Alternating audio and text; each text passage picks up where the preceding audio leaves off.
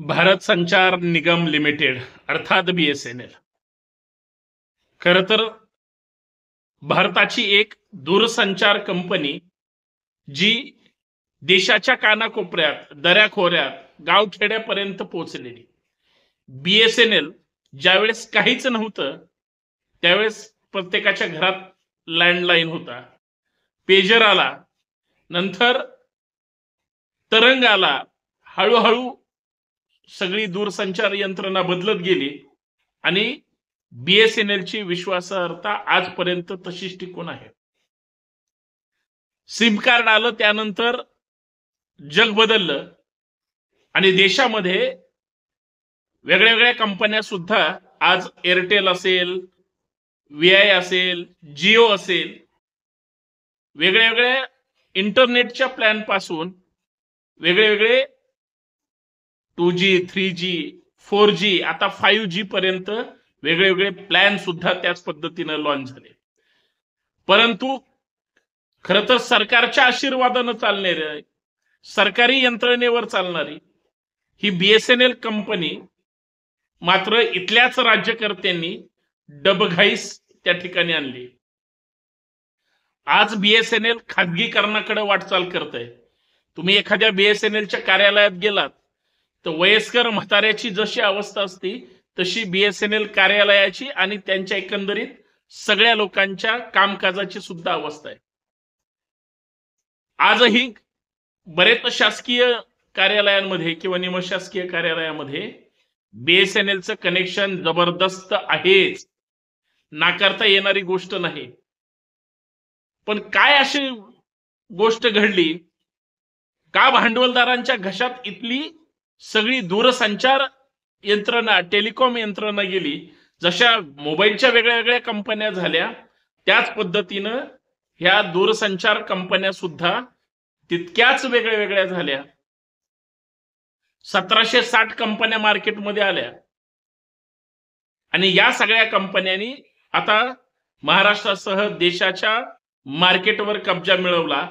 तिथं बीएसएनएल मागे पडली. म्हणजे जिथं थ्री जी आलं होतं तिथं बीएसएनएल फक्त रांगत होतं. मला माहिती आहे मी साधारणतः अकरावीला असेल त्यावेळेस बीएसएनएलचा नंबर घेतलेला आजपर्यंत मी तो नंबर तसाच टिकून आहे. त्याचं कारण असं आहे माझं बीएसएनएल वर किंवा आमच्या सरकारी यंत्रणेवर प्रचंड विश्वास असणारी गोष्ट आहे. सध्या बीएसएनएलचं पोर्ट करा किंवा तुमची जिओची सर्व्हिस असेल एअरटेलची असेल पूर्वीचे ओडाफोन असेल किंवा आय आयडिया असेल आता व्ही आय झालं त्याचं हे सगळ्यांपासून तुम्हाला जर सुटका मिळवायची असेल तर तुम्ही तुमचं बीएसएनएल जिवंत ठेवा.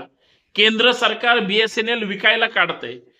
माननीय प्रधानमंत्र्यासहित सगळी सिस्टीम ही कशी आपली सरकारी यंत्रणा सरकारी संस्था सरकारी जागा कशी एखाद्या भांडवलदाराच्या घशात घालेल याचाच प्रयत्न करत असते. अहो ज्या वेळेस कुठलीच कंपनी नव्हती त्यावेळेस बीएसएनएल चे टावर तुमच्या गावात झालंय. तुम्ही कुठल्याही तालुक्यातले जिल्ह्यातले असू द्या किंवा एखाद्या शहरातले असू द्या भलं उंचची उंच जे टावर उभा आहे ते बीएसएनएलचं आहे.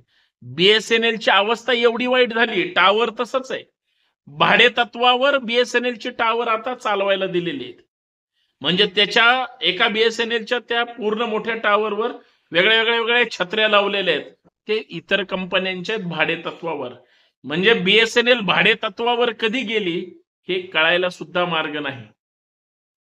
एखादा तुमचा बीएसएनएलचा कर्मचारी ज्यावेळेस एखादं रस्त्याचं काम सुरू असताना केबल तुटली तर हजारो वायर मधून एक एक वायर काढून जोडणारा तो बीएसएनएलचा माणूस किंवा मोठ्या डीपी मध्ये म्हणजे तोंड घालून कुणाचा फोन बंद आहे कुणाचं कनेक्शन काय मग ते लगेच काढणार. तो शोधणारा माणूस आता आम्हाला पाहायला मिळत नाही. अहो फोर जी आणि फाईव्ह जीच्या जगामध्ये बीएसएनएलचं कुठं घेऊन बसलाय राव?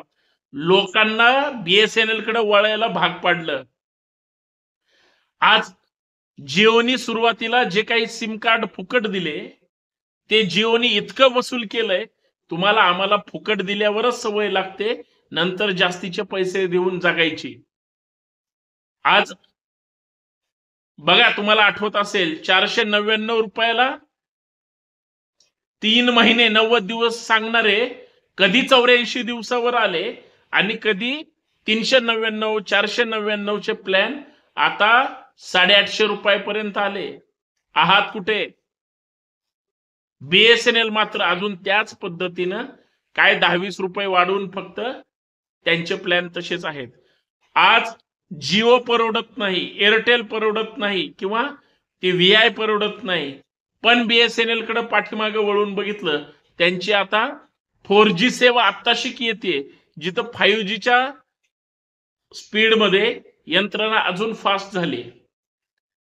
ज्यावेळेस जिओ फाईव्ह जी आलं आणि इतरांनी फाईव्ह जी केलं त्यावेळेस अंबानीचं कौतुक करायला किंवा त्यांची पाठीवर शाबासकी द्यायला देशाचं सरकार त्या ठिकाणी प्रयत्नशील होतं किंवा यांच्या फोनवरून त्यांच्या फोनवर अर्थात बीएसएनएल वरून जिओच्या फोनवर फोन करून अभिनंदन केलं असेल इतकी वाईट अवस्था आहे. तुम्हाला मला प्रत्येकाला प्रामाणिकपणे वाटतं बीएसएनएल टिकलं पाहिजे. आपल्या सरकारी यंत्रणा कोलमडल्या नाही पाहिजेत. आणि सगळ्यात महत्वाचं बीएसएनएल जर जगवायचं असेल तर खाजगीकरणाला विरोध असेल. बीएसएनएल जर टिकवायचं असेल तर भांडवलदारांची गळचेपी असेल. आणि बीएसएनएल जर आता परत सक्षम करायचं असेल तर आपली जे मूळ आहे आपलं जे आहे ज्यांनी आपल्या आपल्यावर लादलंय ते नाही स्वीकारायचं. जे आपलं आहे त्यालाच मजबूत करण्याची शक्ती किंवा ती प्रेरणा मिळाली पाहिजे म्हणून बीएसएनएल स्वीकारलं गेलं. मित्रांनो तुम्हाला प्लॅन परवडत नाही. जिओचा नाही एअरटेलचा नाही किंवा काही नाही. फक्त एकदा विचार करा आणि बीएसएनएलच्या ऑफिसला जा. तिथं लोक तुम्हाला नीट बोलतील न बोलतील नम्रपणा असेल नसेल ते पण वैतागलेत कधी? बीएसएनएलमध्ये आता नौकर भरती होत नाही. बीएसएनएलच्या कधी जाहिरात निघत नाही. बीएसएनएलच्या नौकर भरती आता बंद झालीत. जे काही आता रिटायरमेंटकडे येतील किंवा हळूहळू रिटायर होतील ते लोक एकदा संपले की बीएसएनएल गुंडाळलं म्हणून समजा. त्यांना तेच खाजगीकरण करायचंय. माझं असं मत आहे सगळ्यांनी जर ताकदीनं बीएसएनएलच्या पाठीशी राहण्याचा प्रयत्न केला समजा तर बीएसएनएल परत ताकदीनं उभं राहील म्हणून बीएसएनएल बंद पडू नये. याच्यासाठी सगळ्यांनी बीएसएनएलकडे जर कन्वर्ट करता आलं कारण जिओ पेक्षा दोनशे ते अडीचशे तीनशे रुपये प्लॅन स्वस्त आहेत बीएसएनएलचे एकदा तो चार्ट बघा. मी काय त्या बीएसएनएलची मार्केटिंग करायला तुमच्यासमोर नाही. या देशात ह्या भांडवलदारांच्या चेले चपाट्यांना भांडवलदारांचे घर भरायचेत म्हणून आपल्या ज्या मूळ संस्था आहेत किंवा जे काही शासकीय यंत्रणा आहे ती खाजगीकरण करण करून भांडवलदारांच्या घशात घालण्याचा त्यांचा राष्ट्रीय कार्यक्रम आहे. तो हाणून पाडण्यासाठी पोर्ट टू बीएसएनएल इतर सगळे आपले नंबर बीएसएनएलमध्ये आपण कन्वर्ट करूया. आणि समजा तुम्हाला बीएसएनएल ची रेंज शंभर टक्के येत नाही असं वाटत असेल तर जेवढी टावर आहेत महाराष्ट्रात ती सगळी बीएसएनएल त्याच्या जीवावर इतर कंपन्या चालतात. बीएसएनएलच अशी एक यंत्रणा आहे तुम्ही दऱ्या खोऱ्या डोंगर दऱ्या कुठेही का महाराष्ट्राच्या कानाकोपऱ्यात जा कितीही मोठ्या छोट्या बिल्डिंगमध्ये जा तुम्हाला बीएसएनएल ची रेंज फुलच दाखवेल. नेटवर्क चेक करा. कारण एकदा तुम्ही पोर्ट केलं आणि एकदा तुम्ही स्वीकारलं तर नव्वद दिवस तुम्हाला ते चेंज करता येत नाही बदल करता येत नाही. म्हणून बीएसएनएलच्या नादी लागा. आणि बीएसएनएल अगोदर पारखून घ्या आणि मगच स्वीकारा. पण बीएसएनएल मरू देऊ नका. बीएसएनएल मरू द्यायचं नाही आणि बीएसएनएल संपू पण द्यायचं नाही. अन्यथा भारताची खरी नाळ तुटेल. धन्यवाद. जय भारत.